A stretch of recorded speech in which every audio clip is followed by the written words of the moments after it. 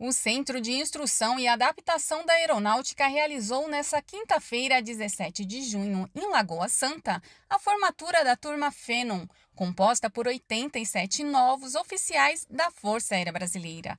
A solenidade foi presidida pelo chefe do Estado-Maior da Aeronáutica, Tenente Brigadeiro do Ar Marcelo Canites Damasceno, acompanhado do comandante do CIAR, Brigadeiro do Ar Max Sintra Moreira.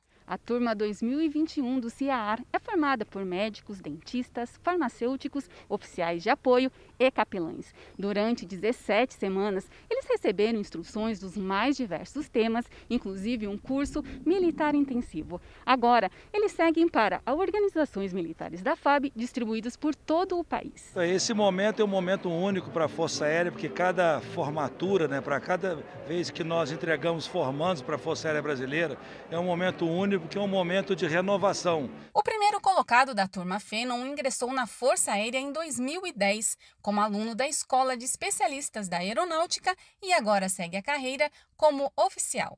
Ele foi agraciado com o Prêmio Honra ao Mérito do Ministério da Defesa e com o Prêmio Força Aérea Brasileira.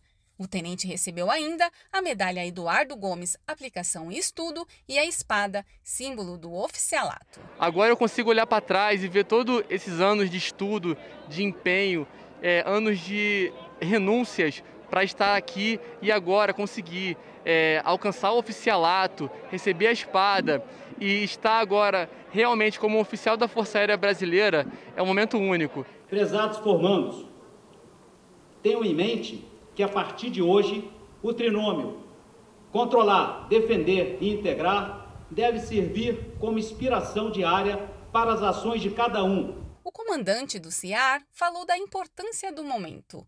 A Força Aérea recebe agora novos oficiais que vão muito contribuir para o cumprimento de sua missão.